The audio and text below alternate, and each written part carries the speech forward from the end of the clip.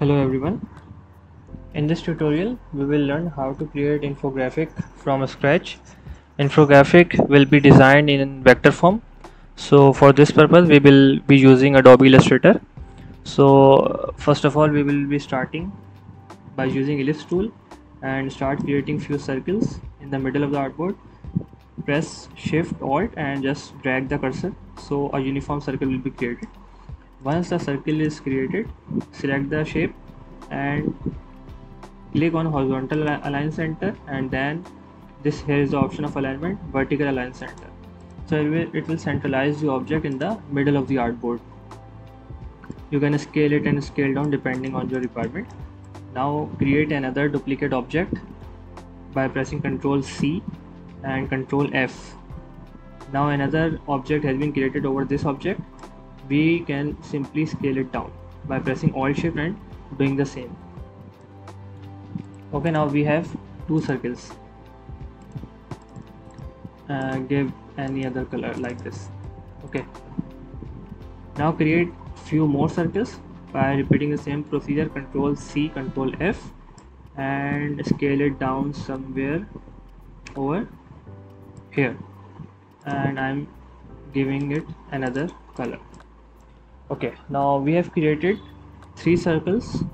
Now in order to give some additional shape to the center uh, to the middle circle to the smaller circle simply select the option of polygon tool and single click over here.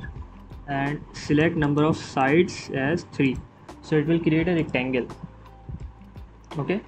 Now place the rectangle uh, triangle over here. Sorry triangle over here. And select both shapes and another click on the circle.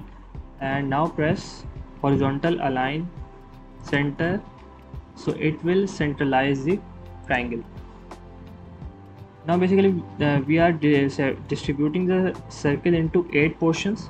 So i'm going to create eight circles around eight triangles around these circles. So simply select the triangle. Select this option rotate tool and click in the middle of this circle okay.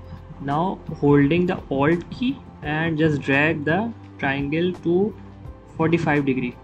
Because 360 degree divided by it is almost 45 degree. So we will be distributing the eight triangles uh, with the separation of 45 degree. So we have just created another triangle. Now press ctrl plus d. So it will repeat the creation of triangles around the circles. Okay. Now we have created eight triangles around the circles.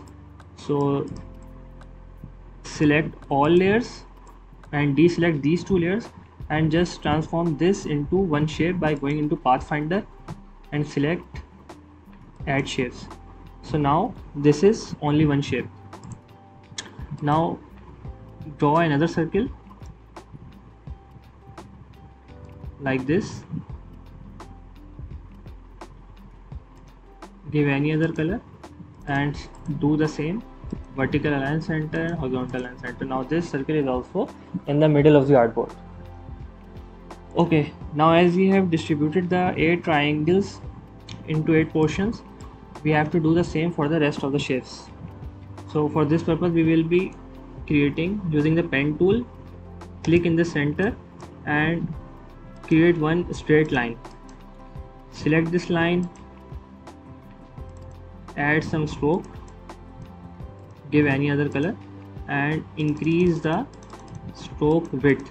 I have kept at 10 point stroke. Now we will be creating 8 lines to distribute all the circles into 8 portions. Select the line go to rotate tool again click in the center and move it to 45 degree as we did for the triangle and keep on doing the same okay now we have eight separation lines. Now individually select these eight lines.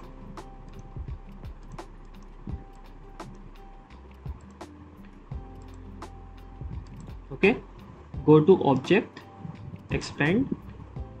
Okay now you have transformed this stroke into an shape.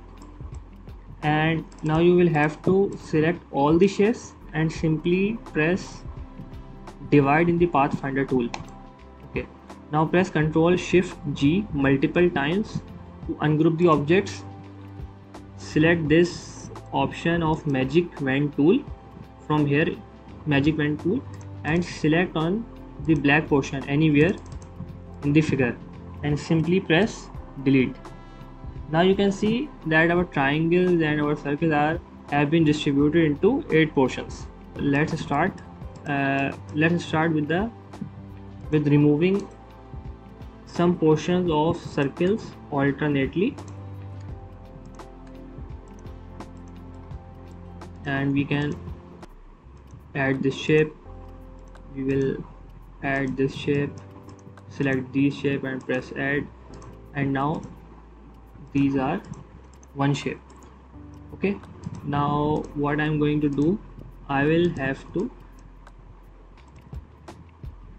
select the blue portion and press I for selecting the eyedropper tool and simply click on this gradient shade. Do the same for the rest of the shapes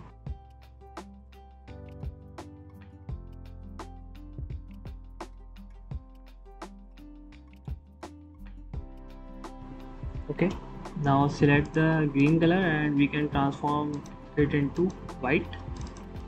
Okay. Now creating a background for this infographic.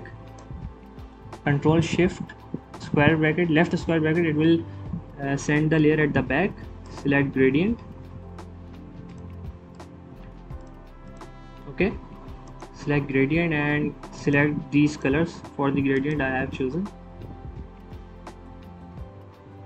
select the background layer.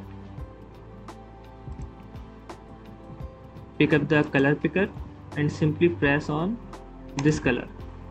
Similarly select the other color and simply press on this shade. Now we can adjust it as per our requirement. Okay. What we are going to do we will have to create a middle circle let's color these as well and give it white color like this.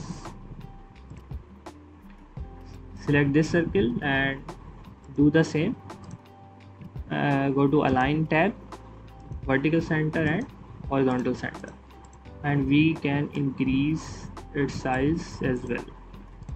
We can also add some gradient into it like this and we can also add some strokes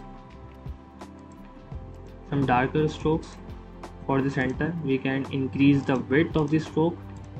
So there are multiple options that we can do. Like this. Okay so we have created uh, the basic shape of the infographic. Now we will have to incorporate data into it. So you can incorporate your, your data whereas I have just already prepared the data to be incorporated in the image let's make it a bit lighter.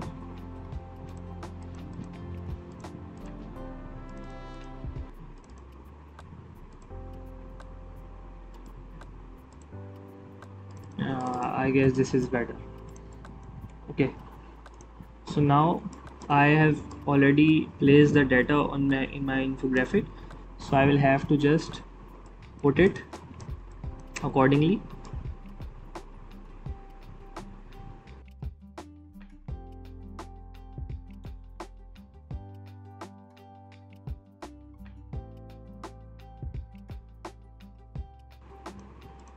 You can make some adjustment and I believe that you must have liked this tutorial and that is very much easier to execute